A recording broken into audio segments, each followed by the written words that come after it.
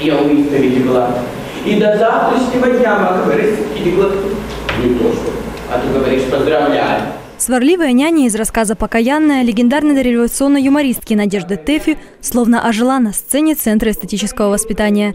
Роль исполнил десятиклассник из частной школы поселка Ерофей Павлович Захар Громов. Конкурс часов среди школьников «Живая классика» не первое испытание для молодого дарования. Выступать на публике он начал еще в 7 лет. За это время даже запоминание текста он свел к минимуму. В основном подготовка шла в школе с моим педагогом. То есть она мне помогала подобрать тембр, правильно фиксировать слова, потому что там такие слова, э, как старорусские, то есть само произведение, оно старое.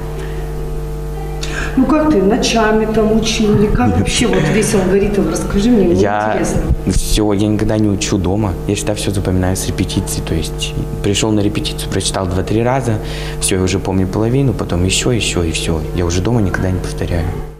А вот благовещенская школьница София Абасова первой репетиции доверяет только домашним стенам. Для девочки очень важно в эти моменты оставаться одной и раз за разом подбирать ту или иную интонацию. Для этого конкурса она выбрала произведение о войне Геннадия Черкашина «Кукла» о маленькой девочке, которой, уезжая с мамой из Ленинграда, пришлось расстаться с любимой куклой.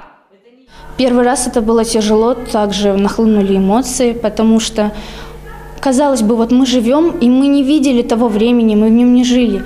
А когда ты представляешь это все на себе, вот эту потерю, это трогает действительно до глубины души.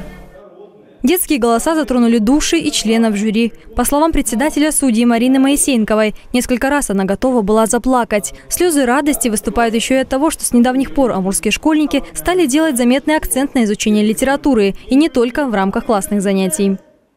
А вы знаете, наши дети действительно читающие. Если раньше э, традиционно считалось, что э, самый читающий город Москва, а, то сейчас, э, вот, так скажем, проводя некоторые исследования в этом направлении, мы хотим с гордостью сказать, что наши амурские дети читают. И наши амурские дети далеко не на самом последнем месте, а на одном из первых мест именно по чтению художественной литературы, которая не входит в программу изучения предмета литературы.